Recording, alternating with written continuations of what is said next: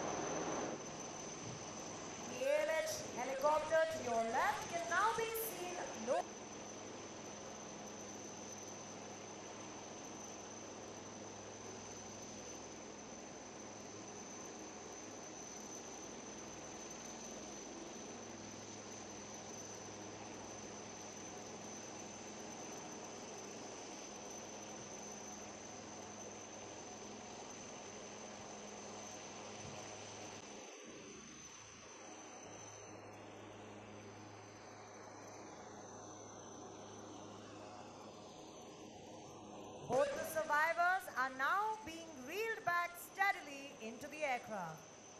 Can we have a huge round of applause for the brave men for such an immaculate display of dexterity in saving lives in peril at sea?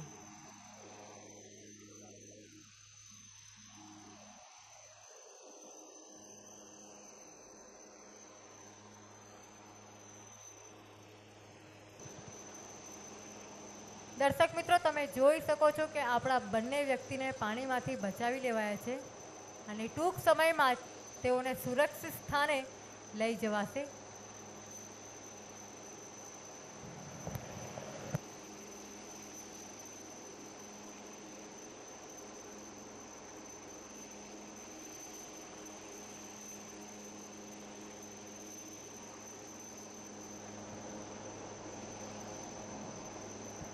What we have seen now is a true depiction indeed of the motto of the Indian Coast Guard Bayam Rakshama.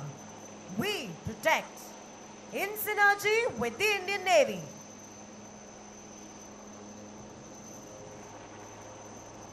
As the ALH helicopters of Indian Coast Guard depart in style after having completed the search and rescue mission, they make their way for yet another Seeking Charlie helicopter of the Navy. Ladies and gentlemen, to your right in the sky once again, the Seeking Charlie helicopter of the Indian Navy making approach. Their mission? Speedy extraction of Marine commandos from the area of operations. Captain of the aircraft is Commander Shailendra Singh, Nausena Medal, with co-pilot Lieutenant Commander Gyanendu. Flight divers forming part of the team are Anil, Mast Chief Flight Diver, and Mahesh, Petty Officer Flight Diver. The operation you are about to witness is termed as STIDE, which stands for Small Team Insertion and Extraction. This method is used for speedy insertion and extraction of small teams of marine commandos in an enemy controlled area which is not suitable for helicopter landing and has risk of lethal incoming fire.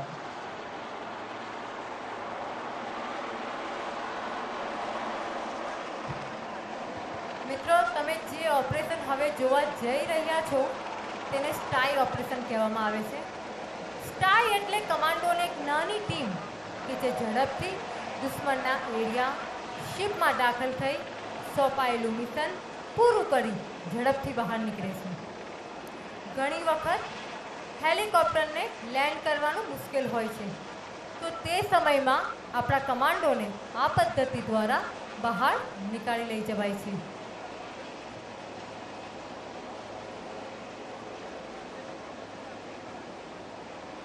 दर्शकों अब आप स्टाई यानी small team insertion और extraction की प्रक्रिया देख रहे हैं कुछ देर पहले जिन कमांडो ने दुश्मन की चौकियाँ नष्ट की थी, अब यह हेलीकॉप्टर एक रस्सी के माध्यम से सभी को बड़ी तेज़ी से निकाल ले जाएगा। हेलीकॉप्टर से रस्सी मिलते ही कमांडो अपनी स्ट्रैप को उसमें फंसा देते हैं और जब सभी तैयार हों तो ऊपर पायलट को संकेत कर दिया जाता है। तत्पश्चात सभी जवान पेयर से जोड़ी में उड़ चलते हैं। इस प्रकार पूरी सतर्कता के साथ हर दिशा में एक दूसरे को कवर देते हुए ये जवान सुरक्षित जगह पर ले जाए जाते हैं।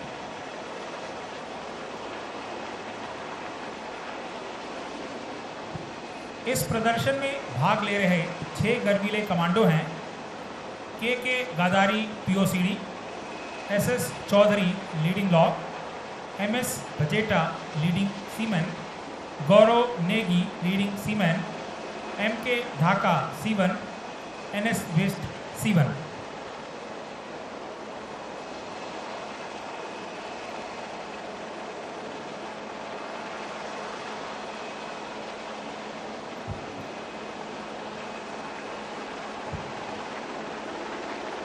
મિત્રો, તમે જોઈ શકો છો કે હેલિકોપ્ટરમાંથી એક રોપ નીચે આવી ચૂકી છે. હવે આપણા કમાન્ડો આ રોપ સાથે બે બેની જોડીમાં પોતાને સુરક્ષિત રીતે બાંધશે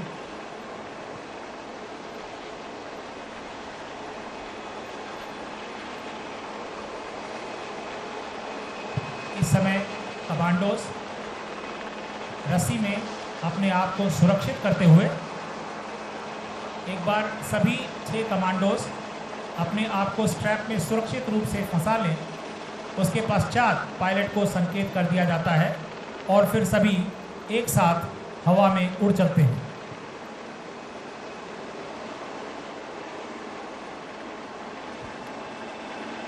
Ladies and gentleman let's your in for the marine commandos of Indian Navy